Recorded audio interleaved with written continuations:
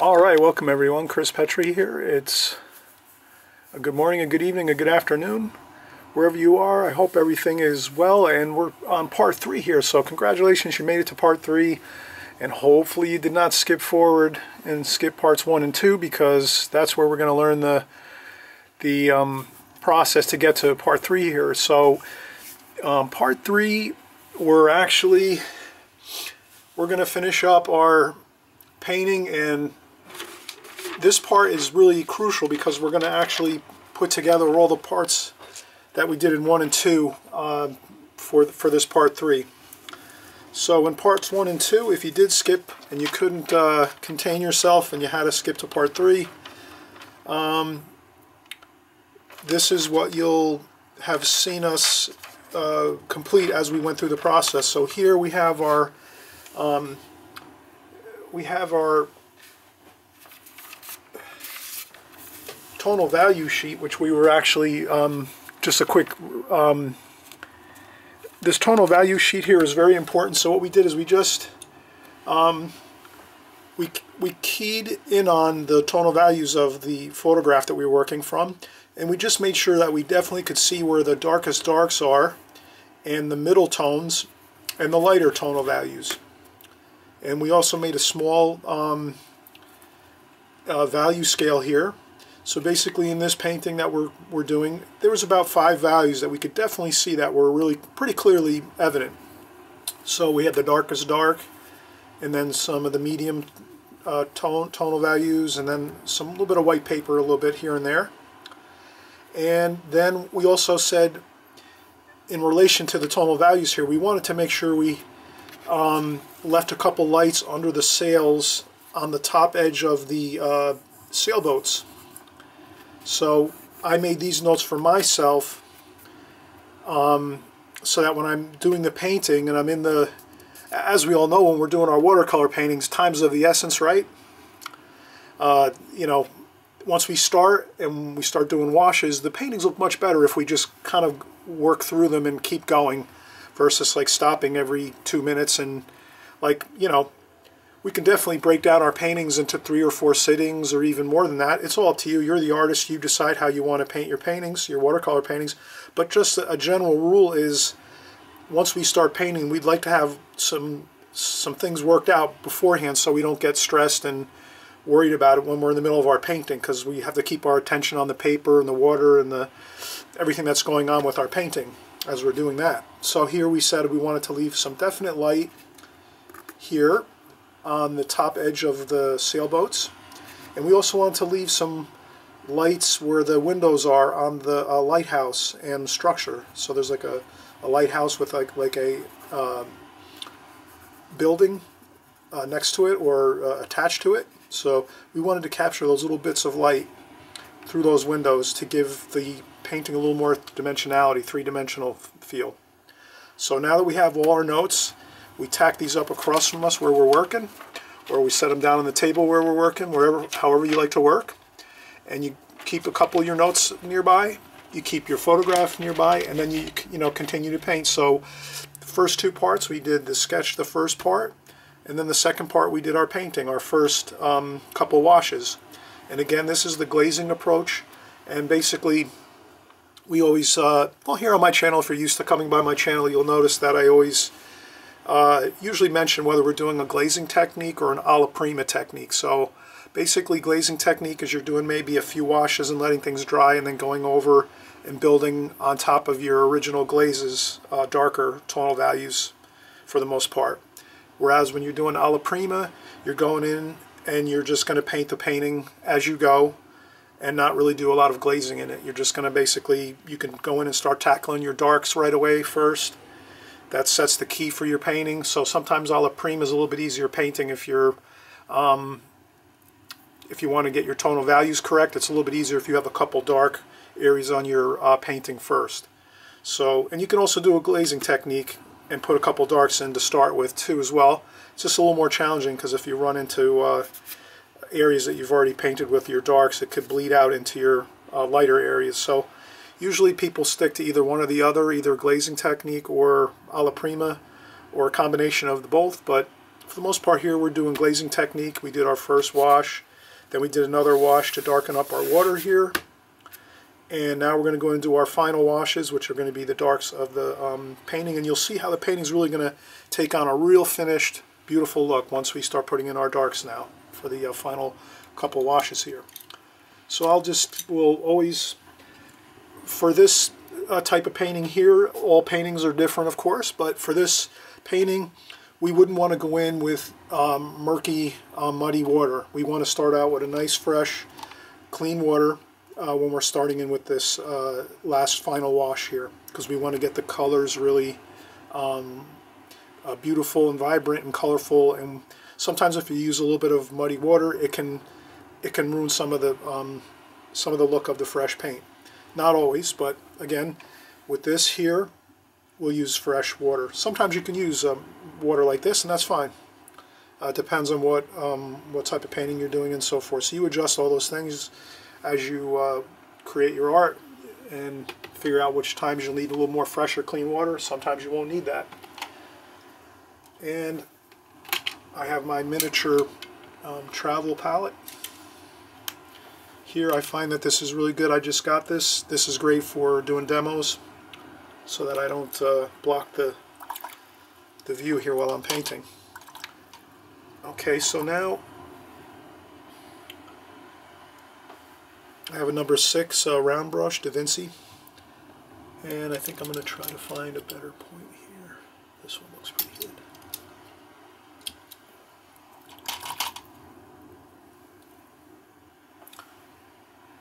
Okay, we'll use this here. This is a number uh, 8. Number 8 Escoda, Kolinsky Sable. And now I'm going to find my photograph. It's here in the studio somewhere across from me. And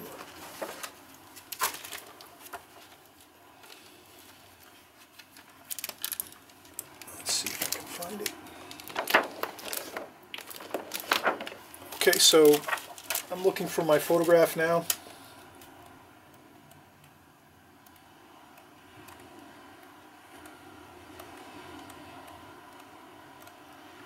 And it's always good um, also, if you're doing like a painting like this, like a, like a water painting, uh, seascape, you know, you can also uh, break out some reference material or look up some material online and print out some things like to get different ideas with colors maybe, um, color schemes that you might, might like to use or sometimes that's very helpful. So here I'm still looking for my photograph. It's here.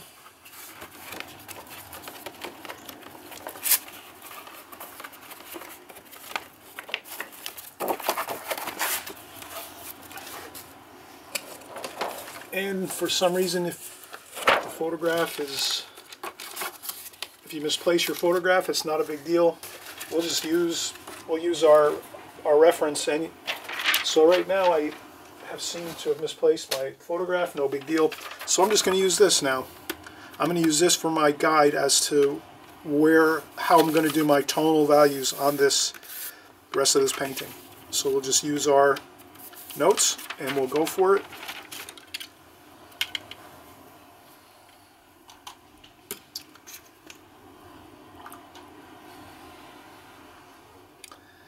So now I'm going to go for my darkest darks first. So that'll be French Ultramarine, Burnt Umber, a little bit of uh, Burnt Sienna, and that, that will be fine.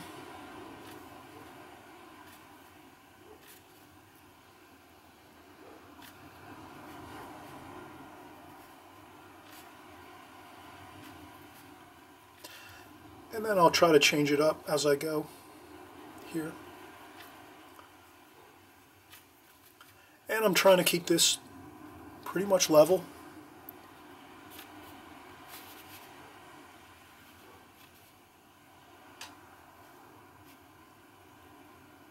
And those are the rocks of the jetty. And then we said we were going to leave a little white paper on the top there.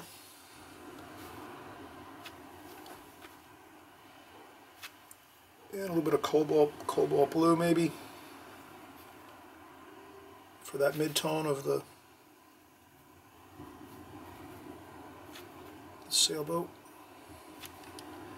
And then again I'm going to make sure I put in a little bit of raw sienna. Should change up a little more.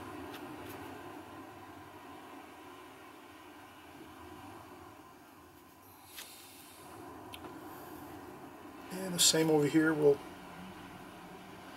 put in our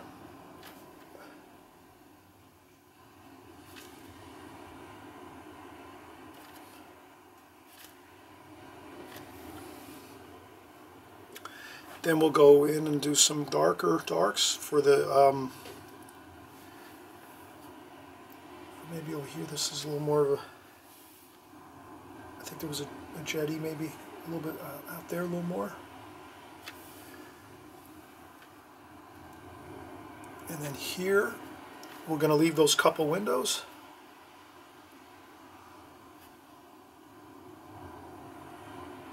And one there. And this was very dark in the pho photograph that we were working from, so I noticed maybe not as much, uh, I'm going to maybe try to introduce a little more warmer colors. So I'm going to go back in with some raw sienna here and just try to charge some warmer color into this the um, structure here where the lighthouse is. And we have that water in the uh, distance here. Actually that is that is the um, hills and we can keep this a little bit more let's let's since I don't have the photograph and I, I have an issue I did misplace it somehow while we're doing this that's never a problem when you're an artist you're creative you come up with a, different creative ideas to any problem or issue so here we're just gonna we're gonna actually leave a little bit of water over the top of that um, jetty that goes all, all the way out from the shore uh, from the shoreline all the way out to the lighthouse.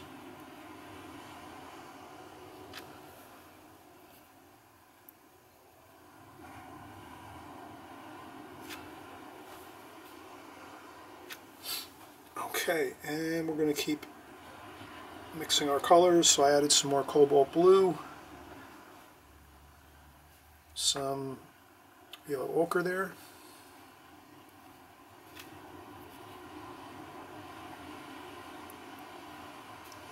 And then over here there wasn't any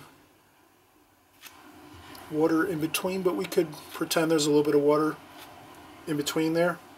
Since we are leaving some here, we'll pretend there's a little bit of water in between that jetty wall and that back distant shoreline there. And we're, we're going to do the same over here. We're going to have that distant shoreline, the bit of the darker shoreline here. So let's keep this pretty dark in tonal value. As we were saying before, the, these distant hills are two different tonal values, but it's really a, a, a key to make sure we get the closer, like the, the, the mountainous area. These are lower mountains, like shoreline basically.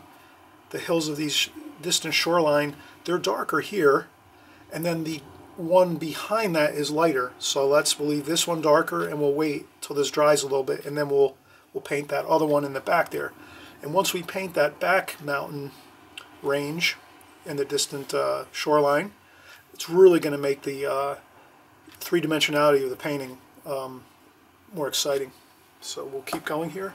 So now basically what we've done is we've gotten that shoreline in, the bottom of the boats, um, the uh, structure here, um, that makes up the lighthouse. And we're really coming along nicely here with this. This is looking fine.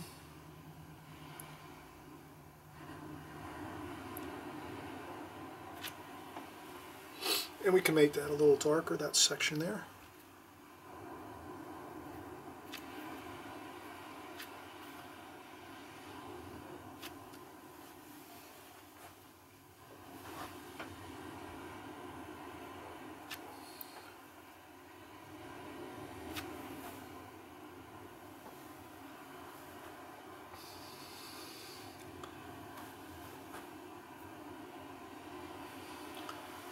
Okay, this is looking fine. So we're going to let that, that dry a little bit.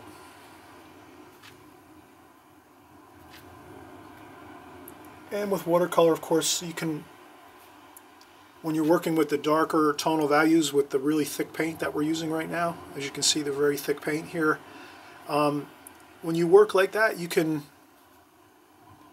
you can add that in to your uh, washes and it's not going to really bleed or have a problem most times because it's so thick it doesn't really uh, give us a problem.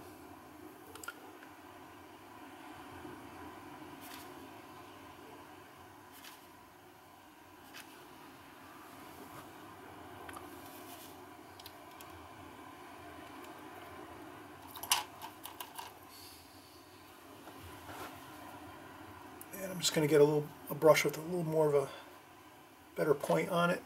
This one has a better point. It's a newer brush. These are the Charles Reid uh, travel brushes by Escoda. They're great. Fantastic points on them and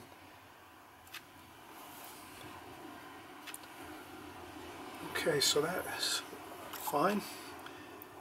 Um, now we can get into some subtle um,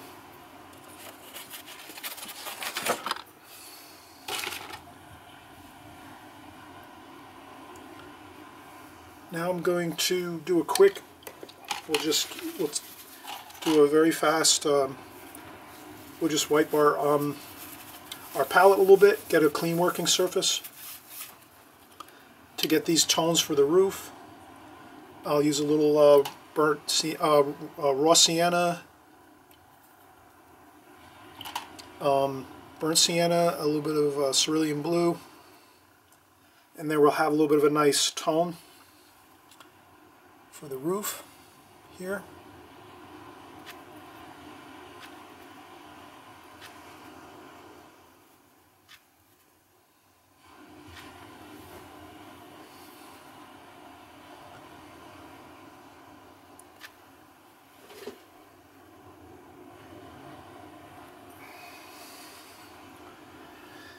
Then I noticed the um,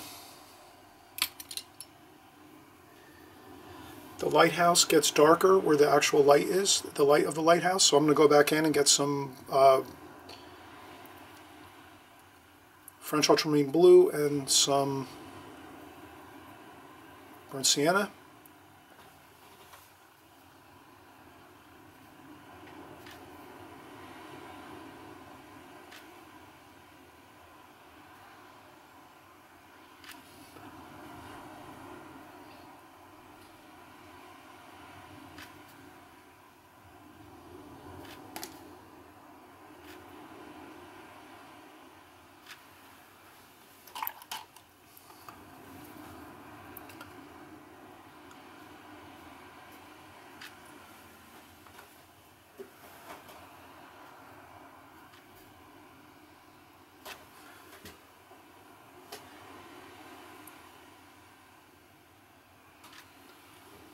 And sometimes I'll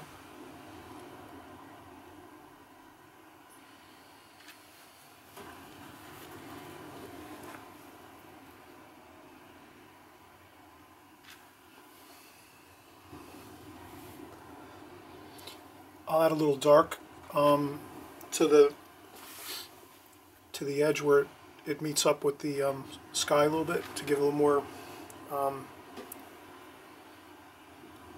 a little more contrast. And I'll go with a little bit of um, cerulean blue here and some raw sienna.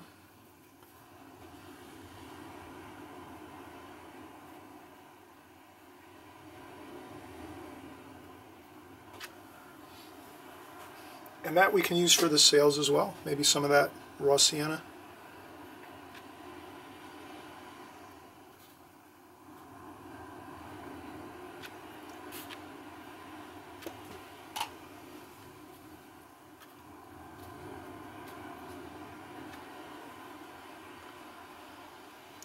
notice it's a little a little bit uh, there's a shadow there on the sail.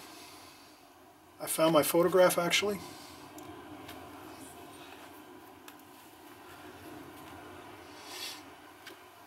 And I'll do the same over here. This is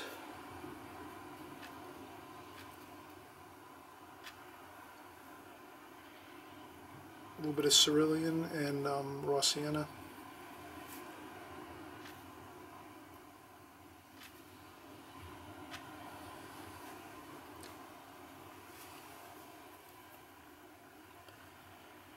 And you can let things dry if you need to.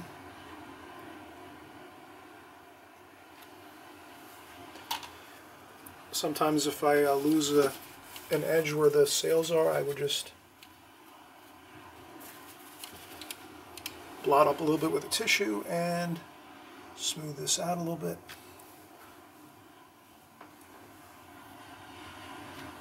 And I would go with a little bit of uh, raw sienna. A little bit of raw sienna and cerulean blue just to,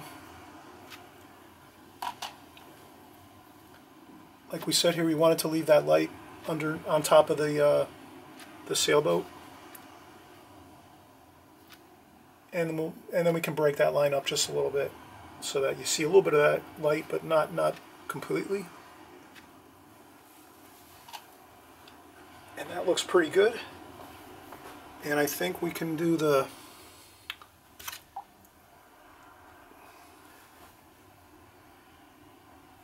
maybe we can do the distant hills here.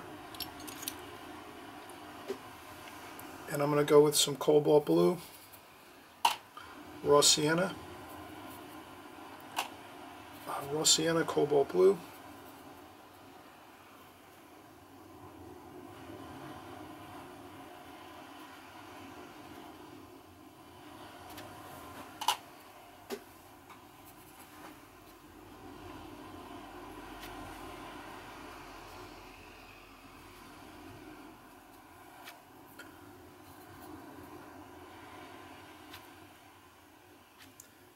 And I might take a little bit of uh, raw sienna, just a couple spots here and there to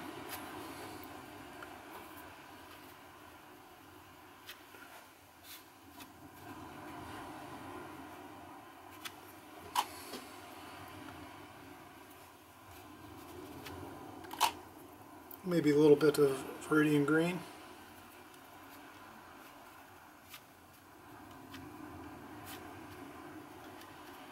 You can go more more color or less, like it's up to you. I'm trying to keep it more of uh, like the photograph. It's a little bit um, seems to be that time of day where it's a little more um, hazy a little bit. So there's some bright sunlight, but there's some haze. It might be like uh, very humid out, so there's not a, a ton of uh, color, colorful um,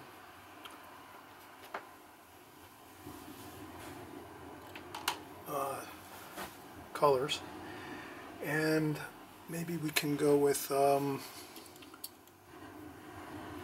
let's see here, we'll do some more uh, French ultramarine blue, burnt umber, burnt sienna.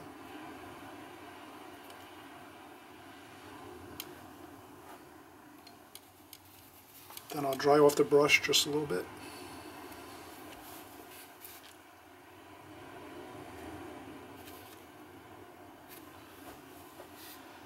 Couple of the final details here.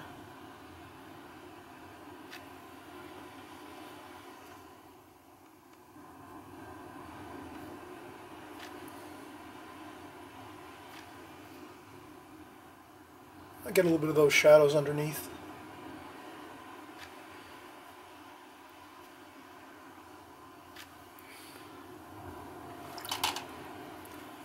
I'll try to get that roof a little bit more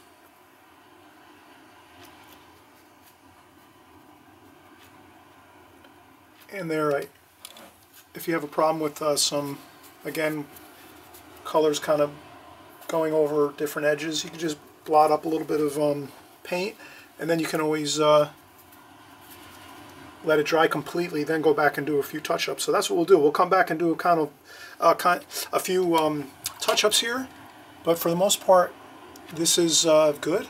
It looks very uh, close to the to the photograph we did or to, that we were working from. The uh, sailboats could be a little bit, maybe the sails can be a little darker. Um, so that's something where sometimes in a painting you might you might leave things a little bit a little bit different maybe. I mean you can try to get it exact if you want, but if it comes out really really close to the original plan that you had as far as your tonal values, I wouldn't go too much overworking it because then sometimes if we're overworking it again and again, it, it gets a little more, um, it shows on the painting. So if we can kind of leave it more fresh, a little bit underdone, we're not going to go too much into details, it's going to look good, it's going to look better, and then we'll be have a happier, uh, pleasant, uh, positive and pleasing finished look to our painting. And I might just do um, another uh, quick um, there was a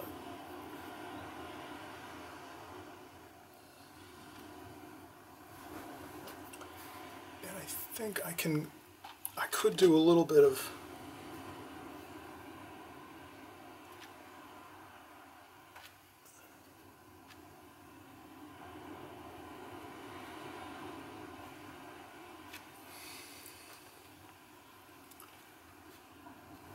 and I think that's about it and we could add some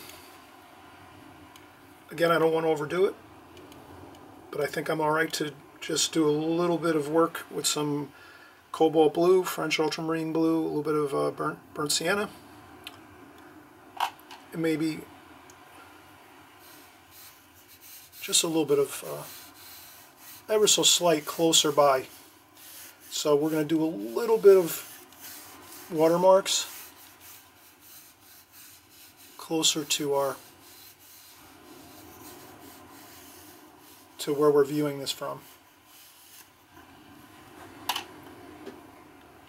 And a little bit of splashing.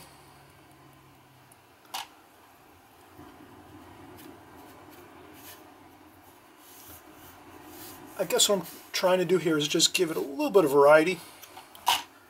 And then I'll do some raw sienna and put some raw sienna too near those that bluish color we use for some of the um, water ripples here.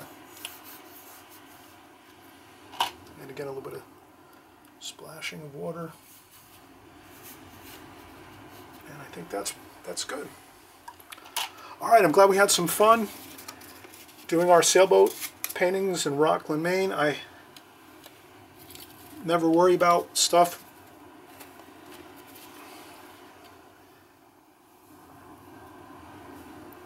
That happens, then I add a few more to the painting. And I call that perfect. All right, we'll see you on the next video.